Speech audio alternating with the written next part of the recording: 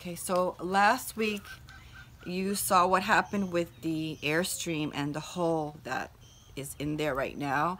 And I just have it covered up with a bag and I've been procrastinating really badly to go into the Airstream because I'm like grossed out at that hole there and the poop, the amount of poop that there is in there, dried up, dried stuff.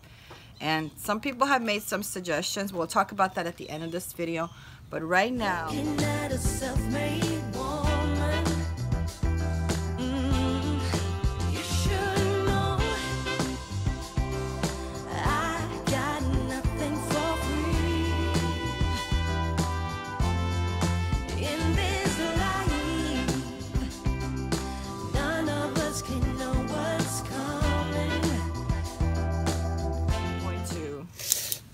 measure the hole because my idea is for temporarily right now so that I can continue to work in there is to cap it off. So let's go because I've got to run out the door. I've got to go drop off Christian and I've got to exercise my walk out in the trails. And so I got to get that done now. So let's go.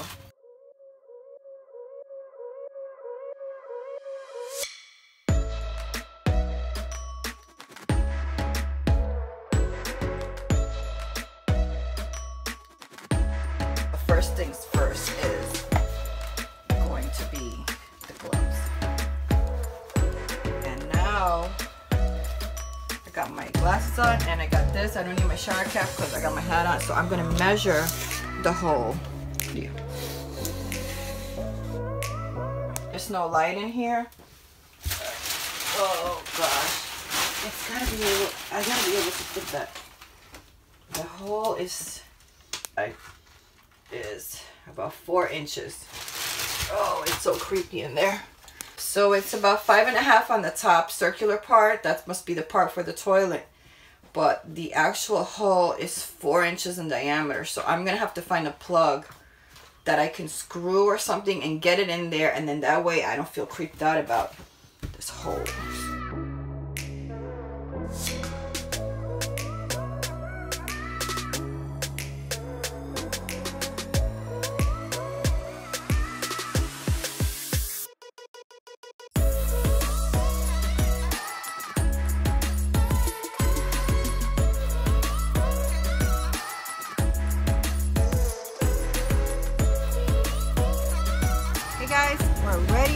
Start the scavenger hunt. Let's go.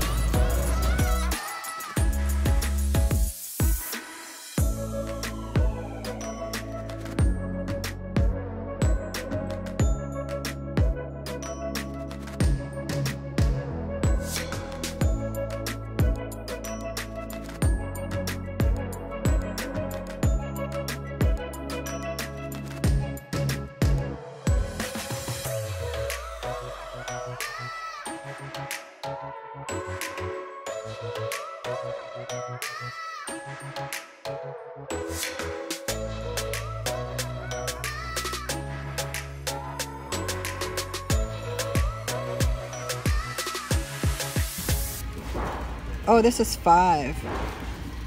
This would fit into the wood floor hole. Test cap. It's more, this is more than, oh, but we're gonna measure from this side. Hold on, because we're gonna put it inside. Is this four? Oh, this is four. This will fit. I think we got it. This is what I was originally coming here for, was for this, or I was looking for this or this. This is what you'll find in an RV park. This one, this one's gonna be too small, I think, because this one's gonna be about two or three. What is this, three inches? So this is three inches. This is gonna be way too small. And then this one is going to be, this is a little bigger than four, so this is gonna be too big. I think we're gonna go with this. This will probably fit in that hole and I could just duct tape it for now.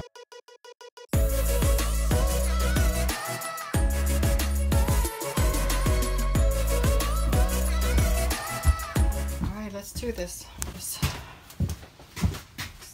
just, just, why doesn't it fit in there?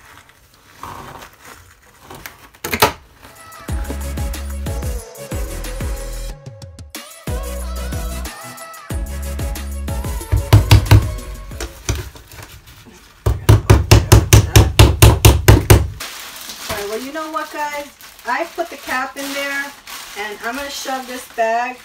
That doesn't give me the creepies like the other way was. I'm just going to shove. So that so that little cap is in there, you know. And well, I'm it's in there, but not really in there. Well, it's in there, and with this thing in there, I know it's not going to lift off. So I'm just going to shove this bag in there for now. Because my point, my reason for this, okay, I have to clean all that rotten wood in there. And there's even a comb back here. Yeah, there's a comb here. So my problem is I don't want to, you know, I don't want to be anywhere near this hole where I can get contaminated. But there's, there's a lot of, look at this. This is this, this is all rotten wood. Oh crap. This is all rotten wood here. And, um, okay, this wall is sealed up. So none of the water got into there, hopefully.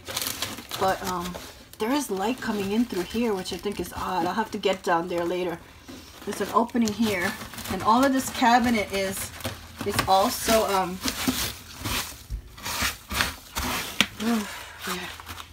I mean, I don't have my mask on, so I don't want to do anything right now, but um, that's something that I'll have to work on this week. Thankfully, it's all dried up, so that'll be easy to clean up. And then I can get a flashlight in there and um, and research it better.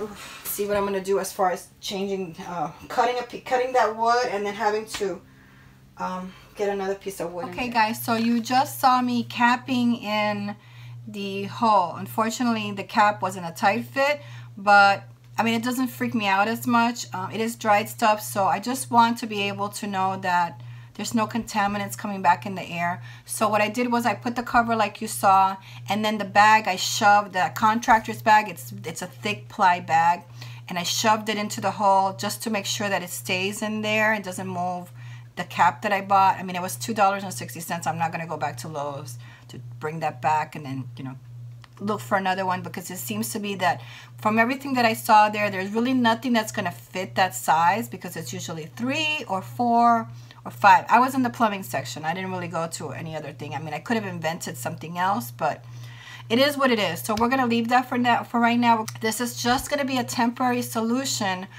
uh, for now so that I can uh, continue to work in there. My idea is once the brakes are done and the tires are put in, um, and that gets serviced and we can actually roll the RV out and I think the toilet is going to get installed at an RV park. I think that's the best place to do that because we can test the line, test the system and um, and flush out the toilet. So but before that I actually get to that point my idea is to do what some people recommended. The, the uh, sewer on the outside is open. There's no cap there. I have to buy a cap for the outside. So right now I just have like, I have some like an old towel shoved in there because I don't want any mice or any rodents or any gophers or anything getting in there. So that's in there.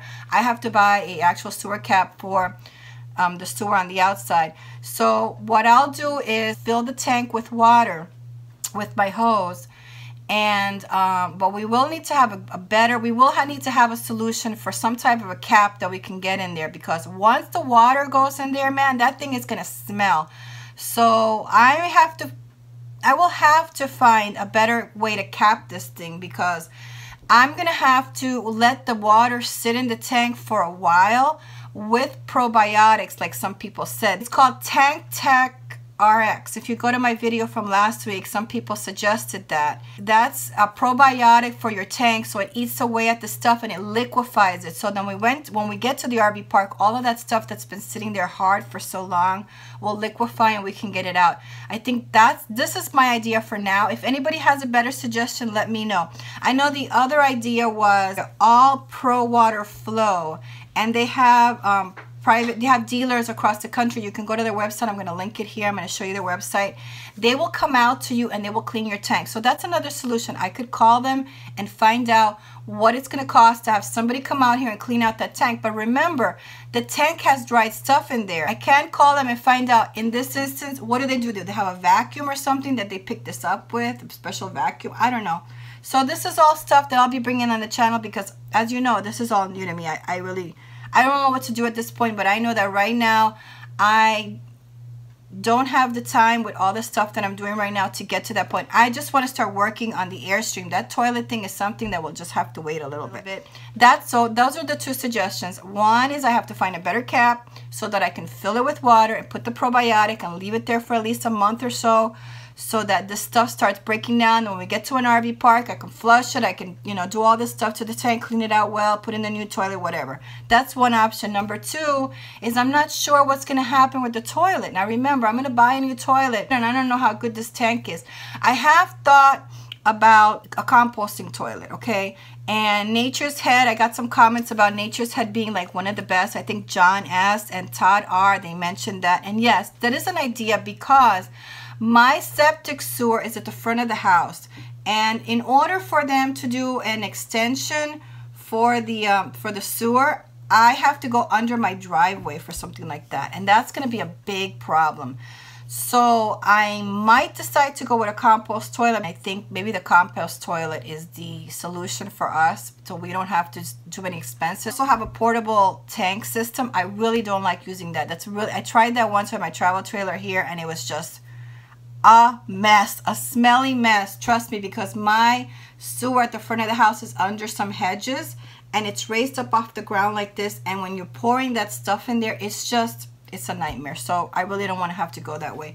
So the composting toilet might be an option. I'm not sure if that's what I do. I'm just worried about when I, if I have, if I use it as a guest house when people come over, are people going to be feel comfortable using a compost toilet? Most people that i at least my family and friends they're really not into like the composting thing and the poop thing. They just you know they're like everybody else. They want to flush it and they don't want to worry about it so this is why I'm just doing what I'm doing as a temporary fix because I still don't know what I'm going to do. I'm still up in the air about my choices and I don't want to make a rash decision and just, you know, do whatever. So I'm going to just do that for now. There's a lot of great information on that website for the All Pro Flow. So if you guys are in this situation, they have dealers across the country. You can call them and see if they'll come out to you and flush your tanks and help you with anything like that. The Tank Tech RX is the first time that I've heard about it. I've bought some other things for my RV, but I never had this kind of a situation where I'm really going to need to break down a lot of gunk that's in this tank. So I am definitely going to purchase that. And by the way, I did notice a real interesting information about Tank Tech it's made by the same company in three different names. The most expensive is Tank Tech RX. That one is like the high, it's the same product, it just has three different names. The middle price is called Odor Away and the, the cheapest one is Scent Guard. It's all the same product by the same company, but it has three different names.